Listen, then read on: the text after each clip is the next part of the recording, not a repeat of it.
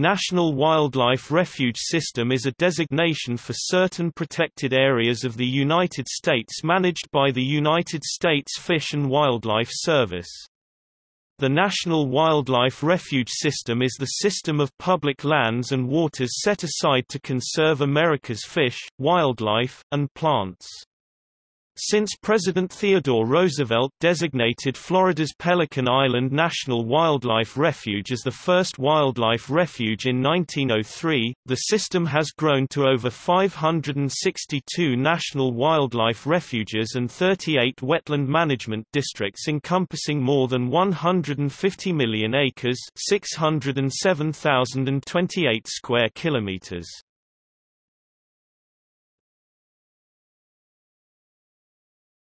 Topic: Background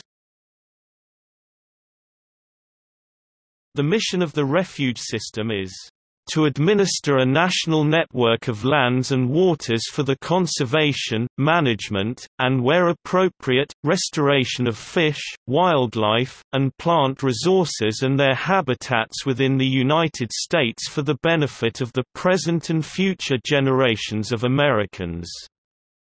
National Wildlife Refuge System Improvement Act of 1997.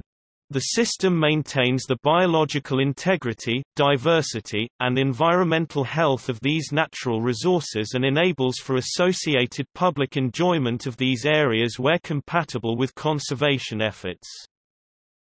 National wildlife refuges manage a full range of habitat types, including wetlands, prairies, coastal and marine areas, and temperate, tundra, and boreal forests.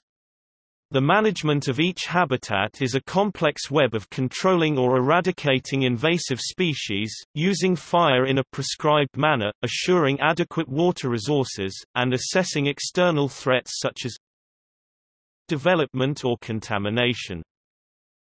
Among these, hundreds of national refuges are home to some 700 species of birds, 220 species of mammals, 250 reptile and amphibian species, and more than 1,000 species of fish. Endangered species are a priority of national wildlife refuges in that nearly 60 refuges have been established with the primary purpose of conserving 280 threatened or endangered species. National wildlife refuges are also places where visitors can participate in a wide variety of outdoor recreational activities. The National Wildlife Refuge System welcomes nearly 50 million visitors each year. The system manages six wildlife-dependent recreational uses in accordance with the National Wildlife Refuge System Improvement Act of 1997, including hunting, fishing, birding, photography, environmental education, and environmental interpretation.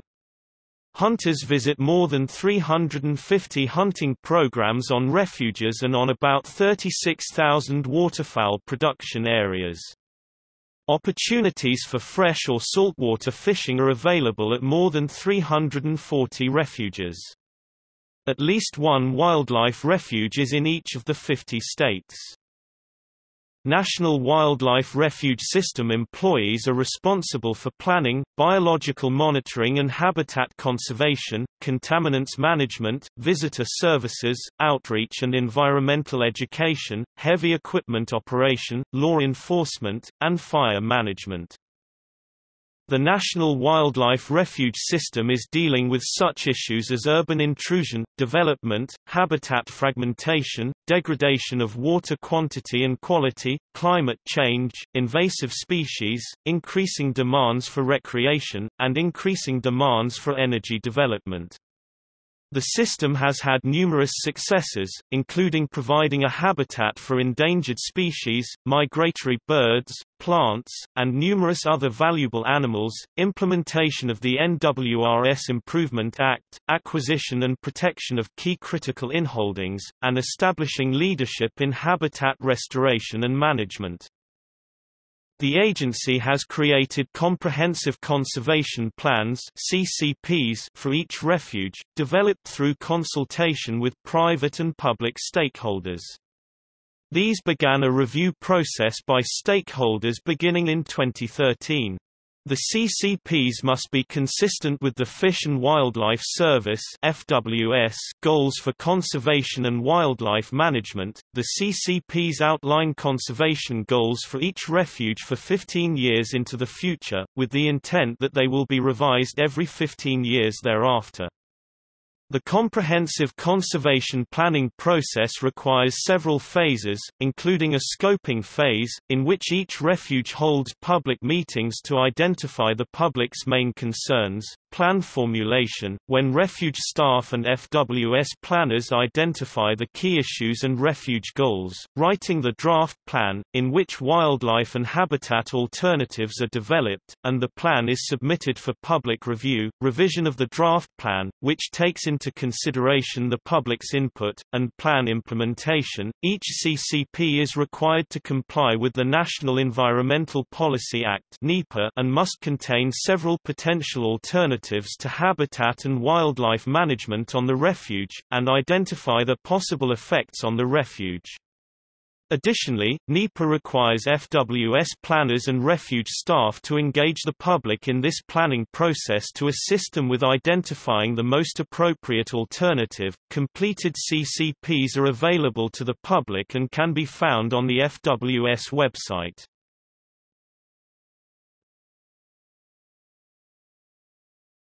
Topic: History.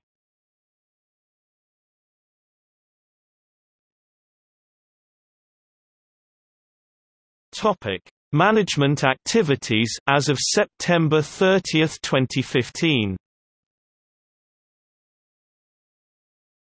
Comprehensive wildlife and habitat management demands the integration of scientific information from several disciplines, including understanding ecological processes and monitoring status of fish, wildlife, and plants.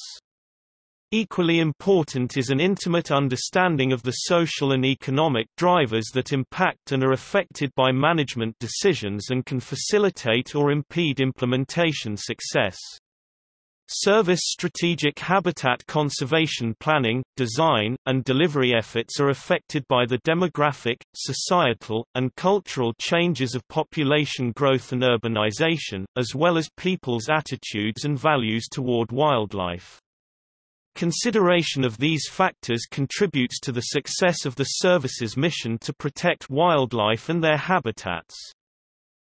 The refuge system works collaboratively internally and externally to leverage resources and achieve effective conservation. It works with other federal agencies, state fish and wildlife agencies, tribes, non-governmental organizations, local landowners, community volunteers, and other partners.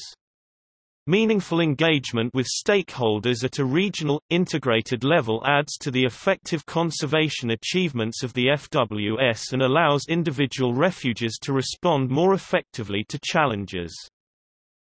Wildlife and habitat management activities include monitoring plant and animal populations, restoring wetland, forest, grassland, and marine habitats, controlling the spread of invasive species, reintroducing rare fish, wildlife and plants to formerly occupied habitats, monitoring air quality, investigating and cleaning contaminants, preventing and controlling wildlife disease outbreaks, assessing water quality and quantity, Understanding the complex relationship between people and wildlife through the integration of social science, Managing habitats through manipulation of water levels, prescribed burning, haying, grazing, timber harvest, and planting vegetation during fiscal year 2015. The refuge system manipulated 3.1 million acres of habitat, technique number 9 from the preceding list, and managed 147 million acres of the system without habitat manipulation using techniques number 1 through 8 from the preceding list. Uplands managed, 1.9 million acres. Wetlands managed, 1.0 million acres.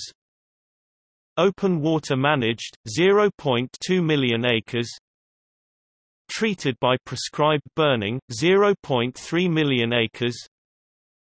Treated to control invasive plants, 0.2 million acres protected but not manipulated, 147 million acres refuges attract nearly 50 million visitors each year who come to hunt, fish, observe, and photograph wildlife, and are a significant boon to local economies.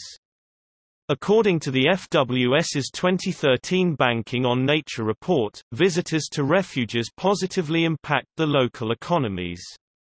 The report details that 47 million people who visited refuges that year generated $2.4 billion of sales in regional economies, supported over 35,000 jobs, generated $342.9 million in tax revenues at the local, county, state, and federal levels, contributed a total of $4.5 billion to the nation's economy. refuge system has a professional cadre of law enforcement officers that supports a broad spectrum of service programs by enforcing conservation laws established to protect the fish, wildlife, cultural, and archaeological resources the service manages in trust for the American people. They also educate the public about the FWS's mission, contribute to environmental education and outreach, provide safety and security for the visiting public, assist local communities with law enforcement and natural disaster response and recovery through emergency management programs, and help protect native subsistence rights. They are routinely involved with the greater law enforcement community in cooperative efforts to combat the nation's drug problems, address border security issues, and aid in other security challenges. Prevention and control of wildland fires is also a part of refuge management completion of controlled burns to reduce fuel loading, and participation in the interagency wildland fire suppression efforts, are vital for management of refuge lands. A considerable infrastructure of physical structures is also essential to proper management of refuge lands. As of September 30, 2015, the refuges had 13,030 roads, bridges, and trails, 5,284 buildings, 8,007 water management structures, and 7,886 other structures such as visitor facility enhancements hunting blinds, fishing piers, boat docks, observation decks, and information kiosks. The overall facility infrastructure is valued at nearly $30 billion.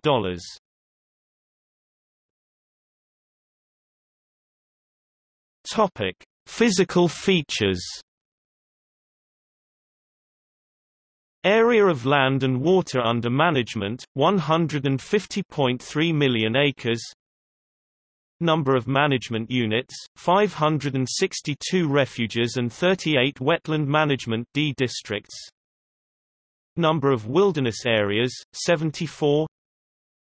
Area of wilderness 20.7 million acres. Length of rivers within the National Wild and Scenic Rivers System 1086 miles 1748 kilometers Length of refuge boundary with Mexico 120 miles 190 kilometers. The area of the refuge system is heavily influenced by large areas devoted to protecting wild Alaska and to protecting marine habitats in the Pacific Ocean. However the number of units and public visitation overwhelmingly occurs in the lower 48 states though these refuges and wetland management districts constitute only a little over 1% of the system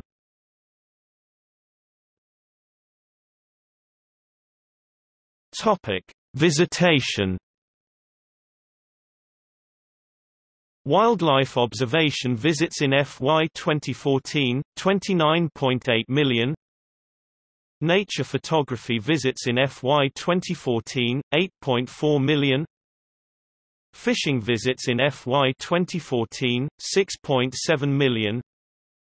Interpretive program visits in FY 2014 2.8 million. Hunting visits in FY 2014, 2.4 million Environmental education visits in FY 2014 to 0. 7 million Total visits in FY 2014 to 47 million Topic: Volunteers. Total volunteers in FY 2014 to 36,000. Total volunteer hours in FY 2014 to 1. 4 million. Topic: Personnel. Total staff 3036 full-time equivalents, thus two half-time employees count as one FTE. FY 2015 total Number of refuge enforcement officers 256 source Washington office Number of firefighters 460 360 permanent and 100 temporary staff Topic: Special designation areas.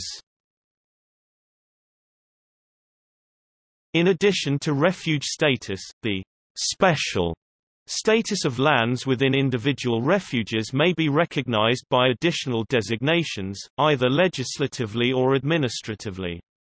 Special designation may also occur through the actions of other legitimate agencies or organizations. The influence that special designations may have on the management of refuge lands and waters may vary considerably. Special designation areas within the refuge system as of September 30, 2014, included Biosphere reserves 3 units Marine protected areas 106 units National Historic Landmarks 10 units National Monuments 7 units. National Natural Landmarks 43 units. National Recreation Trails 72 units. National Wild and Scenic Rivers 13 units. Ramsar Wetlands of International Importance 26 units.